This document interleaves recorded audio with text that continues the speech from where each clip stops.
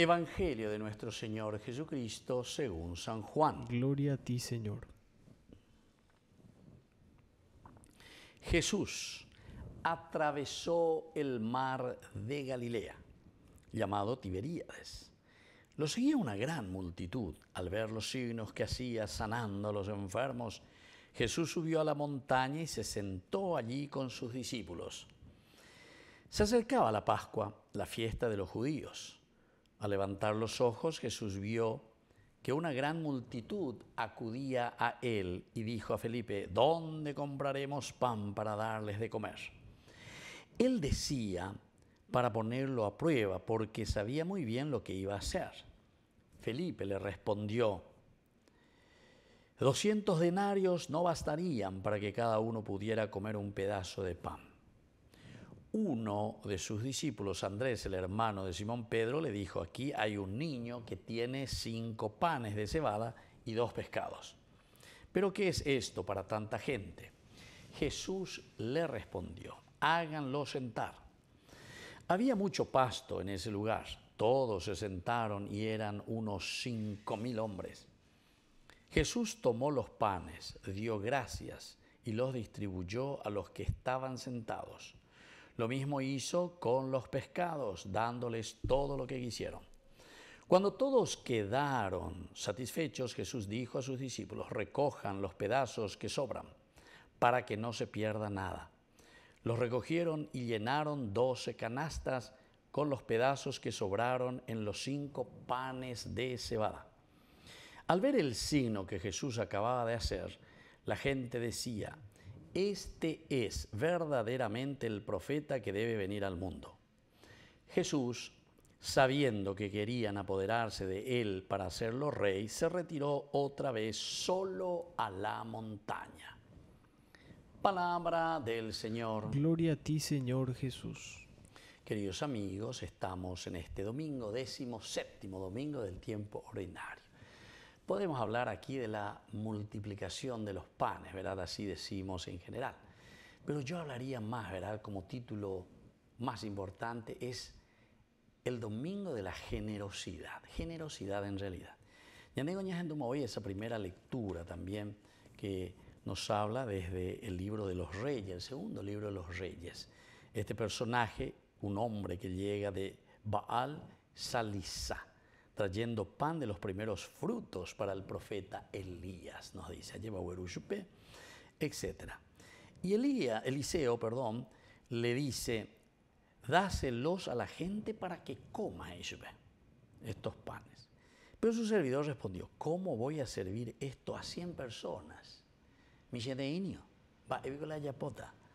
Dáselos a la gente para que coma, replicó Eliseo porque así habla el Señor, comerán y sobrará. El servidor se lo sirvió, todos comieron y sobró conforme a la palabra del Señor. Es lo que después escucharemos, ¿verdad? También en el Evangelio. Bueno, fíjense, generosidad, queridos amigos, generosidad. Nosotros decimos también, peñaneñe eve, allí bañan de de donde comen tres pueden comer cuatro, ocho pueden comer nueve, diez, ¿entienden? Pero eso va a depender de la generosidad generosidad. Y la generosidad, queridos amigos, viste que al comienzo parece que somos medio tacaños y somos angurrientos. Este que viene de Baal, Salisá, también cuando Eliseo le dice, dale a las personas para que coman ese pan que me estás trayendo. Pero ¿cómo? Pero, o sea, yo te digo la verdad, debe, debe, debe, No, dale a las personas, a todos, al pueblo. Todos tienen que comer. Todos estaremos mejor todos estaremos mejor. Entero que te vaya, no, yo le quiero dar fulanito a mi amigo, no, no, entero te entonces, los bienes son de la patria y de la nación. Bueno, y entonces le dicen, no, no, ¿cómo le voy a dar? Angurriendo, la gente, siéntese. Entonces nos peleamos entre empresas, que esto, aquello, este más mi amigo, ya me metan de la coima, ya me metan de pesa. Eso, eso ya es a nivel nuestro. Eso yo le agrego, ¿verdad? a la primera lectura y al Evangelio, ¿verdad? Pero eso es lo que en realidad nos está diciendo la palabra del Señor. Bueno, pero aquí está el elemento esencial, ¿verdad? Porque al final replicó Eliseo, replicó y le dice, te he dicho, ¿verdad? Te he dicho, dáselos a la gente para que coma, dáselo a la gente. yo pude miense. Y entonces él lo dio y dice que comieron, en este caso dice comieron 100 personas y eso sobró todo. Bueno, ahora la segunda lectura, que es a la carta a los Efesios, yo estoy preso por el Señor y los exhorto a comportarse de una manera digna de la vocación que han recibido. Hamba Eiko, la vocación digna. A veces nos va enumerando algunas cositas justamente. Que hablan de qué cosa. En el fondo, en el fondo nos habla siempre de una generosidad, pero aquí nos va dando algunas palabritas claves mucho más lindas todavía. Mucha humildad. Primera cosa uno es generoso cuando entiende que somos humus, porque quiere decir que lo que nosotros recibimos, recibimos todo de Dios, que nosotros venimos del polvo y al polvo volveremos. Y entonces, ¿por qué yo tengo que acaparar todo, verdad? Incluso la cuestión del diezmo en el Antiguo Testamento, porque en el Nuevo Testamento ya el 100%, ¿eh? atención, allí Hechos de los Apóstoles capítulo 2, del 42 al 47, compartían todo, todo, todo lo que tenía y ninguno pasaba necesidad. Es la comunidad ideal. Bueno, y aquí entonces para eso pues tenemos que reconocer que somos humus. Tenemos un segmento de vida, tenemos un tiempo de vida. El más robusto vive 80 y después de los 80, Jaguar Gaireí, así nos dice el Salmo. Hasta los 80, fatiga inútil, encima te dicen los salmos. Y nosotros acaparamos y acaparamos y acaparamos. Y entonces, este, desvistiendo a otros, hambreando a otros, robando a muchos. Y así, ¿verdad? Pelayan de preocupación. Díganme, queridos hermanos, si no es cierto, ¿verdad? Que estamos detrás, eh, como Sebastián Gaboto creo que era, ¿verdad? Que iba detrás de los guaraníes, dice, ¿verdad? la chiste, lo Bueno, pero es importante cuando Pablo aquí nos está diciendo, yo estoy preso, dice, estoy preso, pero aquí me doy cuenta, vamos a tener los sentimientos del verdadero cristiano, humildad, mansedumbre, paciencia, vamos a ayudarnos todos.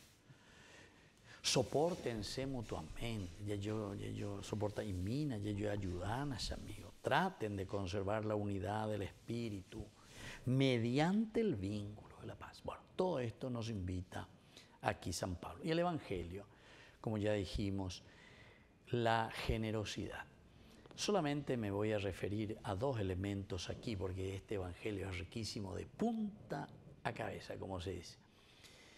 Primero, cuando le dice, denle ustedes de comer, ya dicen, oye, no, pero aquí, ¿qué para dar de comer a toda esta cantidad?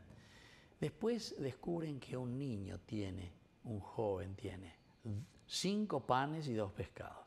Los dos son números cabalísticos de la generosidad. Primero el cinco. Cuatro es todo, lo que tengo te doy. Uno es Dios. Cinco, generosidad. Dios, cuando nosotros le entregamos todo lo que tenemos y somos, entonces todo se multiplica, porque es Dios el que multiplica tu generosidad. Entonces, que Dios multiplique siempre tu generosidad. Yo muchas veces le respondo así a la gente, ¿verdad? Que son generosas y que ayudan, por ejemplo, a nuestro proyecto, ¿verdad? De evangelización. Que Dios multiplique tu generosidad. Porque sos vos el que te dejas mover por tu corazón, sos vos el que estás haciendo. No es porque yo te estoy pidiendo, sino que porque vos te das cuenta Opocónderes ande entonces yo quiero ayudar, yo, yo quiero ayudar, yo quiero salir de mi egoísmo. Esto es para nosotros esencial y fundamental, queridos hermanos. Nosotros parece que nos falta muchísimo todavía vivir esa profundidad de la generosidad de la vida cristiana. Bueno, y después, aquí el 2. El 2 es en comunidad, ¿se dan cuenta? No es también yo, yo, yo, yo, yo, yo, yo, sino que siempre es el servicio de la comunidad para la comunidad. Porque nosotros recibimos como una cualidad, como una riqueza de Dios de generosidad y lo ofrecemos a la comunidad. Y entonces ahí viene, ¿verdad? En la medida en que ofrecemos todo, entonces es la multiplicación de todos los bienes que el Señor mismo nos ha regalado y que le ponemos al servicio de nuevo de nuestros hermanos Que así sea. Que así sea.